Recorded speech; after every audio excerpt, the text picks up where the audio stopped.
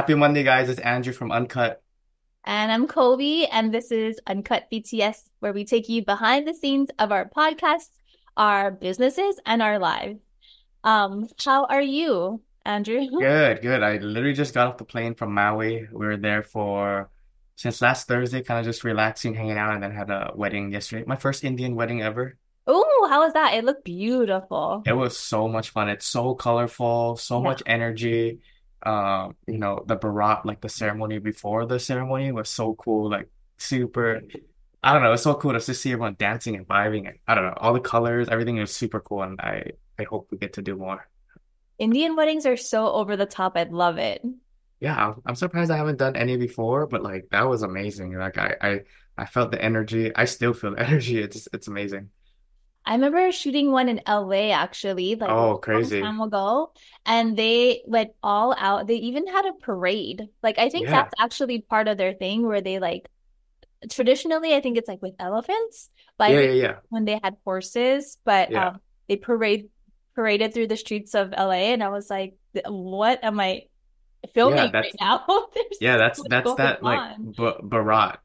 if Yeah, I'm pronouncing it correct. But I was like, oh my gosh, like, yeah, it's so cool. Yeah. Oh, awesome. I know. And then the henna, did they do? Yeah, every yep, yep. All the guests had henna. Even like the bride's henna was super sick. All her jewelry, her traditional dress. Like it, was it was a great day. It was Yeah. nice. It It's beautiful. so interesting to see how different cultures hmm celebrate, you know, the wedding weddings, how they have weddings. I mean, because like even like with a lot of Asian weddings, they'll do like the tea ceremony, and sometimes that's really over the top too. Did, we talk about in another episode where we should just be professional wedding guests going around the world, experiencing different cultures? Is that I know you said that you wanted to do that and then like film too, or just be a guest. I think we just be a guest and we get filmed.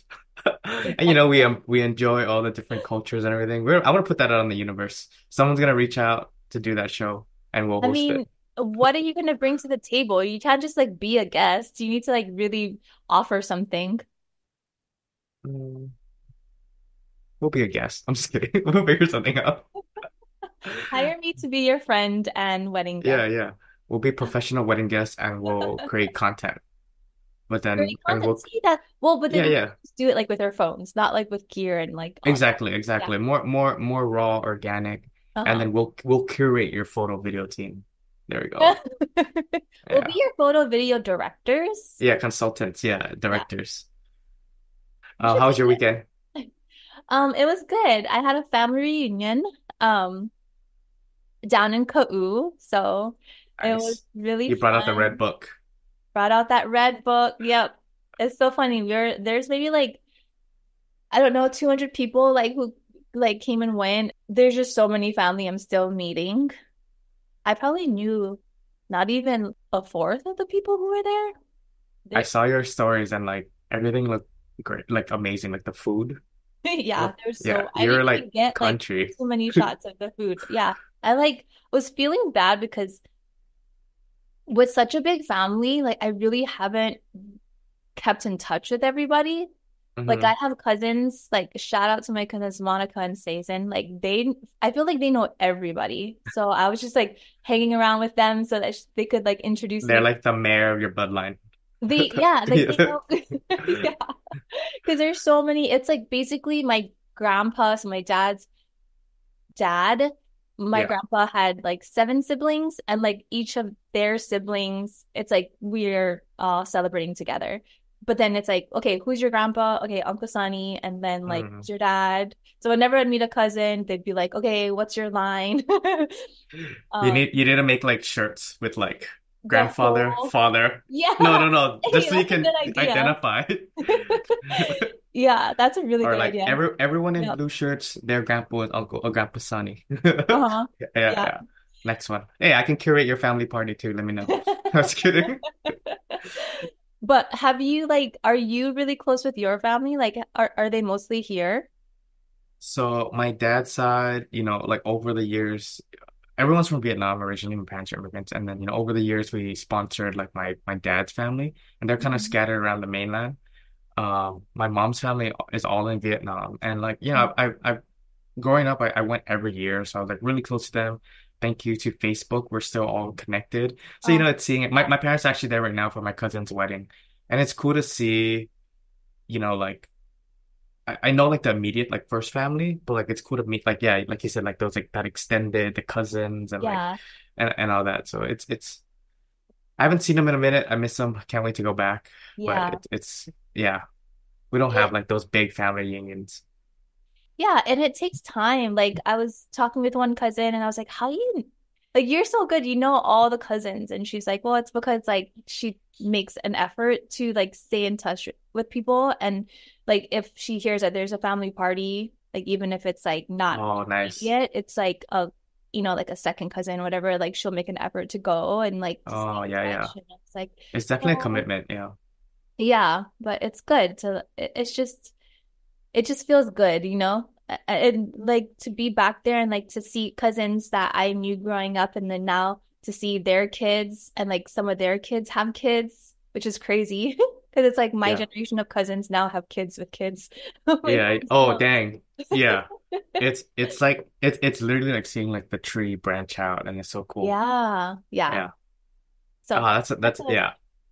That's in the middle cool. of editing, like it was good. It like forced me to take a break because it work is just so nuts right now with the I show know. Roots. We just just like talked about that. Yeah, you're like stuck in the editing cave, huh? yeah, and it's like trying to keep the momentum because it's an eight episode series and we're only on episode three this week.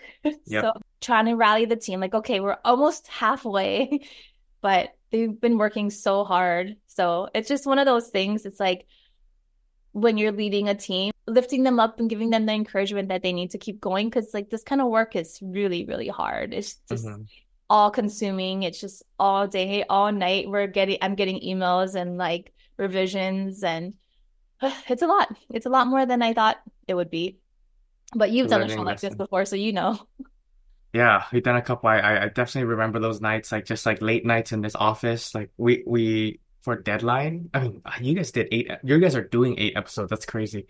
We did like a one episode thing, like you know, a special feature, and even that was tough. But we had lots of footage, and I remember like late nights, like Maurice and I were in this room, kind of like taking turns editing. Like, okay, you nap for 30 minutes. I'm gonna like cut this little section, then we'll switch. I, I noticed that, you know, because there's so many episodes, there's a temptation to um to not hit the standard that you're you're used Oh yeah, to. You know, it's like there's a temptation to just be like, okay, good enough, send it. Um, and it's so it's really taking a lot to like fight that that temptation and be like, all right, let's just like do one more revision, like one more round, and like just tighten all this up because I think to us, like are good enough to everybody else is great, you know, but I think in order to be great, you really need to keep it at the standard that you are that you want to put out there. And because there's so many, it's just it's hard to keep it at that level. It's hard. 100%.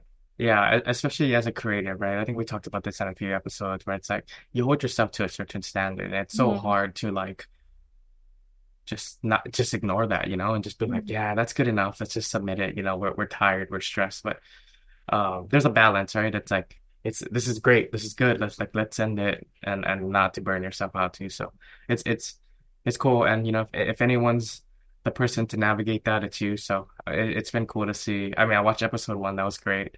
Uh, we talked to Chef Epi two weeks ago, and that that was that was really cool to see like everyone's perspective and involvement in this project. So if you guys have not watched it yet, watch it tonight, or watch episode one, episode two, and then watch episode three. Yeah. Um, that's crazy. That's awesome. Oh, what, what's your biggest takeaway so far from this whole production? I feel like you're gonna have to ask me that when we're all done and wrapped. yeah, yeah, Because yeah. I feel like I'm in the thick of it right now. But I think um just appreciating and really honoring the stories that we captured because that's ultimately what's like pushing me to keep going and to keep it at that level of excellence that we're wanting to because we're sharing their stories that are so important. And it's almost like it's so sacred because they they hmm shared they they opened up and they trusted us with their story. And we just want to give it the best we got so that we can frame them in the best light. And so i think and there's stories like that that we do like even just weddings. I mean, giving them the best that you have to honor their love story. I think um it's easy to slip when you're doing so many weddings and doing so many things. It's it's not slip, but then just to be okay. Like Mm-hmm. Yeah, kind of just like, yeah, that's that was good enough. Yeah, yeah. Yeah. But, but yeah, then like I always tell people too, like if you're in like a service industry, wedding industry, or like even just like telling stories like what we do, hmm it's like they're trusting you. They're they're they're opening up to you. They're being vulnerable. They're welcoming you to their homes, businesses, all of that stuff. And it's like I feel like you just got to do them justice, you know? Like it's it's hmm it's a, level of respect and self-respect, and also respect to your your your story. And Yeah. And it's yeah, something that they would tre treasure and pass down to their kids. I had a couple reach out to me. They're celebrating their 10 year anniversary nice. and they're like, "Oh, can we um cut, you know, a reel out of our wedding video that you shot for us 10 years ago?" Yeah, Wow, and since then they have had three kids and the kids watch your wedding video. So it's just a good reminder to be like, okay, they're gonna, this is gonna be something that they tre treasure for their whole life, and then yeah, passed down to their kids. So it better be good. yeah. I always tell. be proud of it, you know? 100%. I always tell couples that too. It's just like I, I I'm super biased, but I think like photos, but especially video is like the best way to relive hmm your special day, whether it's your wedding or birthday or whatever it is. But it's like you get, you know, you get to see the visuals, you you hear the audio, and then all of that crafted into something that the company you hire creates for you. You know, you're gonna show that to your kids one day and like cherish it. And I don't know, it's it's just a crazy thought to think that you're putting so much work into this project that's gonna live on like forever. It's gonna be timeless. It's Yeah. crazy, even just capturing them at that time because, you know, relationships evolve and then you get kids and you get busy and stuff. But to look back on when it was like just the two of them and they're so in love and to hear that they watched it on their anniversary every year, it's it's pretty special, I think. Yeah. Or when they post it, and I mean, now with social media, right? Like they're posting and tagging, like, oh man, that was like two years ago. That's crazy. Mhm. I swear we're just like partying together. See, you're already becoming the party friend, the wedding guest. Yeah, yeah. I I wanted to do that. I wanted to do. I wanted to. I had this company idea before like the the content creators came about, but I was like, I wanted to start PWG, which was professional wedding guests. Just invite me. I'll show up. I'll create content on my phone, hang out, start the party. There is a such thing as um like a social media curator at weddings now, right? Where they just go to sh to shoot like reels and stuff like that. Yeah. phone. So I saw it for the first time a few years ago at AJ Rafael's wedding. They flew someone from LA because no one in Hawaii was Oh. doing it. Oh wow. And like he was literally a professional wedding guest. He just hung out. He had such good energy. He was there with, because I filmed the wedding, he was there with us, like not in anybody's way, like hyping them up, creating TikToks and doing all the trends and everything. And I was like, that's crazy. What a freaking job. Like I'm over here, like, you know, With with my, I mean, it's it's a different, yeah, it's a different deliverable for sure. Like I hmm think that's that's the main thing that we talk about, uh, you know, when hiring a a wedding video company versus a hmm content creator. That's hmm like the difference, right? Like the deliverables are different and the expectations are different, but like it's hmm so crazy, you know, the instant gratification. They film throughout the day, eight hours, 10 hours, whatever it is, upload everything to Dropbox, and you get it the next day. Yeah. And that that's cool too, because you don't have to worry about you being on your phone or you don't have to worry about getting stuff from your guests. So it's kind of cool. Yeah. I'm like, how are these people like doing all this on their wedding day? You know, like Yeah, those wedding trends. But yeah, yeah, if you have somebody dedicated to just shooting that. Yeah.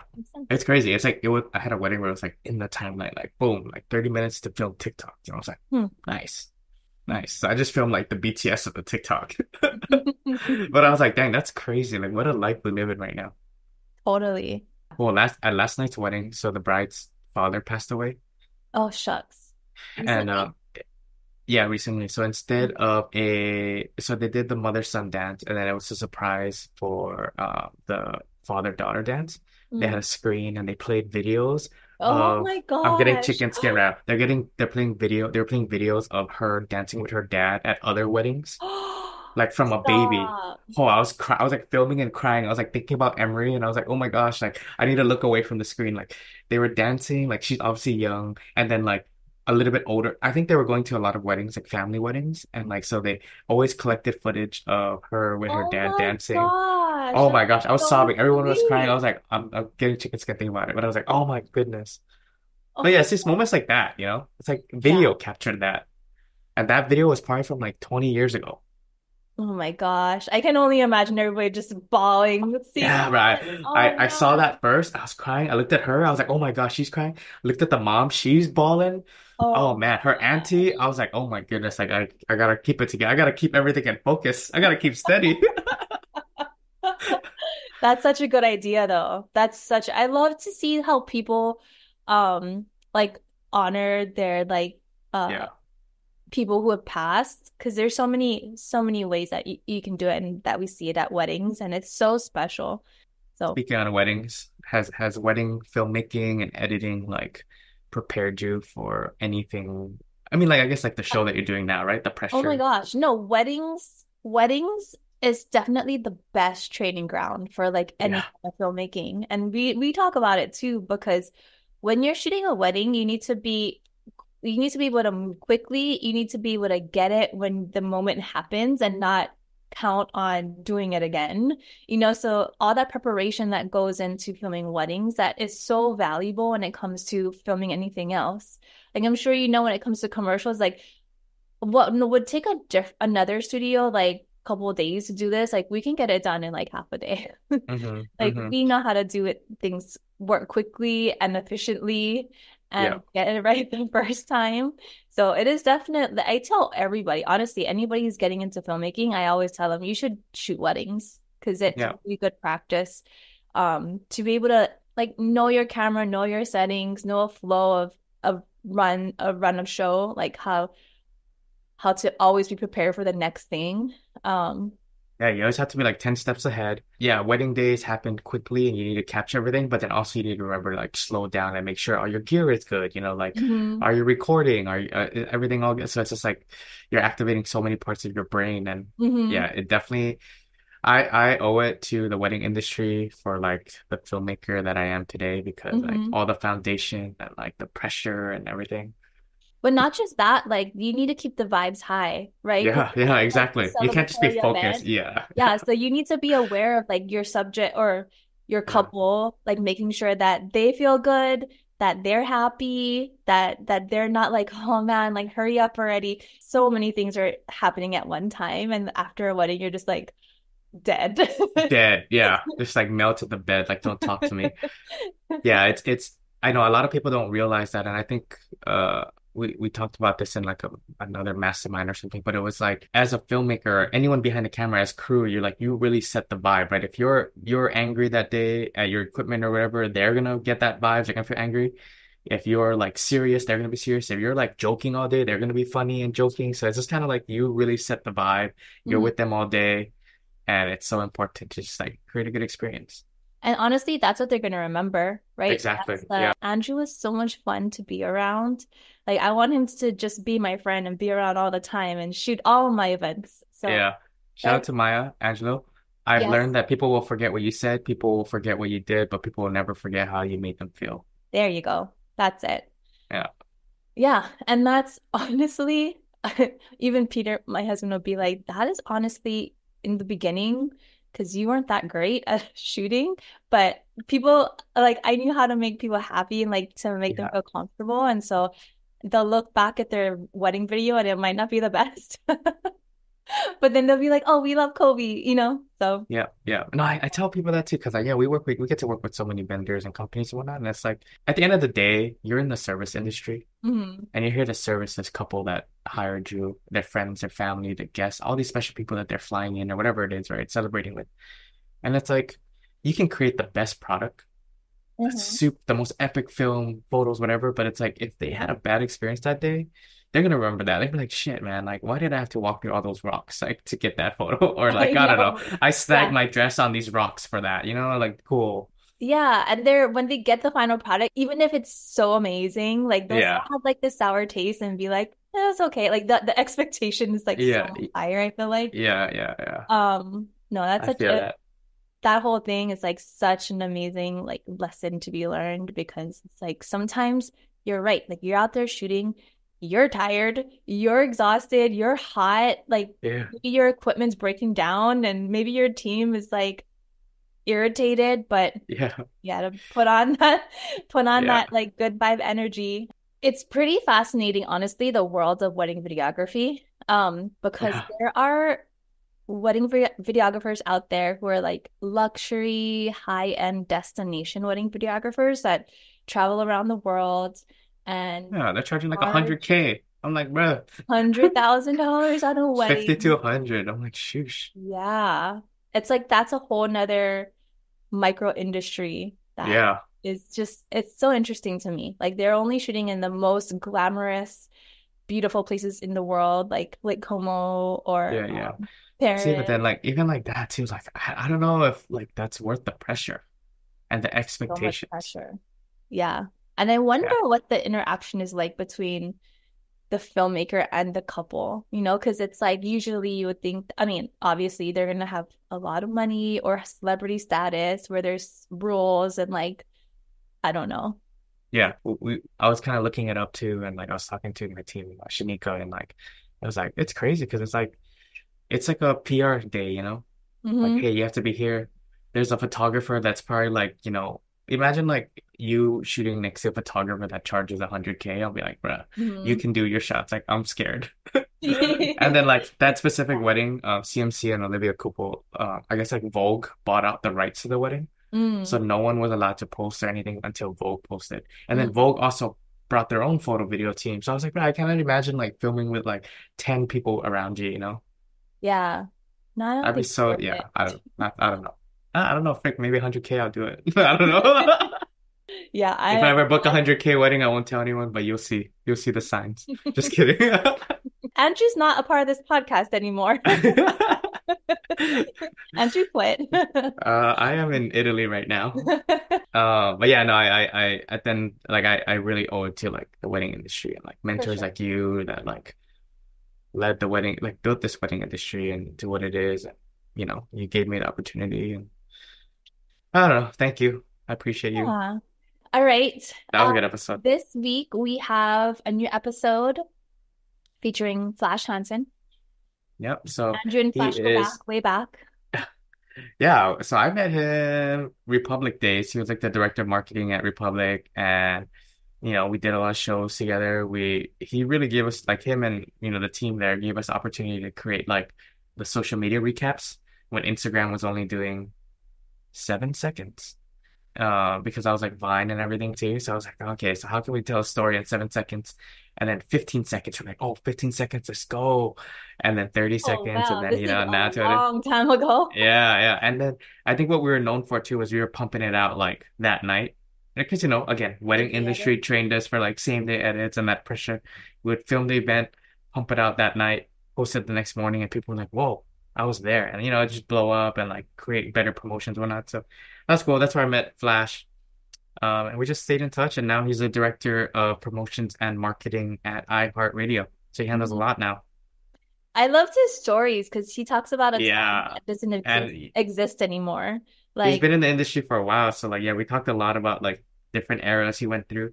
He was a yeah. promoter and he did a bunch of cool things. Yeah, I hear about this from like our music friends, how um now with social media, it's just different because everybody's on their phone filming the concert or whatever, the club on their phone and not super present. So it's almost like it's just a different vibe. It's like instead hmm of just being there, enjoying the music, enjoying the vibes, enjoying the club, now they're enjoying it through their phone.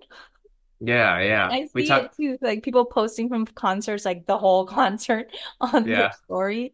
Yeah, we we talked about that in the episode and it's like Mhm. it's just like subconsciously, I think, you know, like people are just like, boom, I gotta like be on my phone, whatever. But Yeah, it's like yeah, it's nice to be present in the moment and yeah, enjoy the people that you're there with, you know? yeah, yeah. No, totally. So yeah, tune in for that. And we ha are working on some other episodes that we're excited to talk about. So stay tuned. We have been pretty busy, so we've been kind of slacking on posting new episodes, but But look at us, we're still doing it. We're still doing it. Yeah, making time. Yeah. Yeah. Thank you guys for keeping up with us, watching all the new episodes, um, sharing them, and yeah, we really appreciate you guys as always. yeah, thank you for the support. We really appreciate it. And you know, you guys are the reason why we're doing this. You Yep. know, we want to share these stories and connect and, and whatnot. So yeah, feel free to reach out and we'd love to talk story. Cool.